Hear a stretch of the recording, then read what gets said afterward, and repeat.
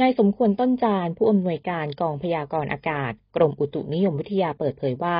พายุกระทอนได้ส่งผลกระทบต่อประเทศไทย แต่เนื่องจากสภาพอากาศระยะนี้มีความแปรปรวน จึงเกิดฝนฟ้าขนองและลมกระโชกแรง ในพื้นที่ภาคเหนือและภาคตะวันออกเฉียงเหนือ ซึ่งอาจส่งผลให้เกิดอุทกภัยในหลายพื้นที่ เช่น เชียงใหม่ เชียงราย เลย หนองคาย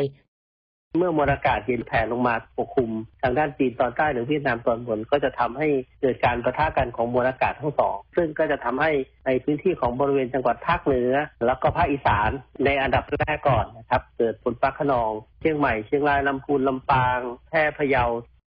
สอดคล้องกับนายชัยวัฒน์จุนธีรพงศ์อธิบดีกรมป้องกันและบรรเทาสาธารณภัยเปิดเผยว่า กรมป้องกันและบรรเทาสาธารณภัยหรือปอพได้ประสาน 63 จังหวัดในพื้นที่ภาคเหนือ ภาคตะวันออกเฉียงเหนือ ภาคกลาง ภาคใต้ และกรุงเทพมหานคร เฝ้าระวังและติดตามสถานการณ์ฝนฟ้าขนองและลมกระโชกแรง จนถึงวันที่ 3 ตุลาคมนี้ โดยจัดเจ้าหน้าที่ติดตามสถานการณ์อย่างใกล้ชิด ประสานองค์กรปกครองส่วนท้องถิ่น และแจ้งเตือนประชาชนในพื้นที่เสี่ยงภัยทราบล่วงหน้า และให้ปฏิบัติตามประกาศแจ้งเตือนภัยอย่างเคร่งครัด รวมถึงเตรียมความพร้อมด้านบุคลากร อุปกรณ์ เครื่องจักรกลสาธารณภัย ให้สามารถเผชิญเหตุและช่วยเหลือประชาชนได้อย่างรวดเร็ว ขณะที่นายจิรายุห่วงทรัพย์ที่ปรึกษาของนายกรัฐมนตรีและโฆษกศูนย์ปฏิบัติการช่วยเหลือผู้ประสบอุทกภัย วาตภัย และดินโคลนถล่มหรือสปช กล่าวว่า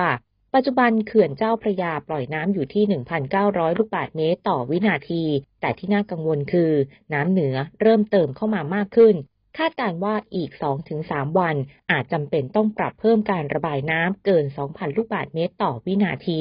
ซึ่งอาจส่งผลกระทบต่อพื้นที่ท้ายเขื่อน 11 จุด ใน 4 จังหวัดประกอบด้วย อ่างทอง พระนครศรีอยุธยา สิงห์บุรี และชัยนาทนฤมนอุดมพร รายงาน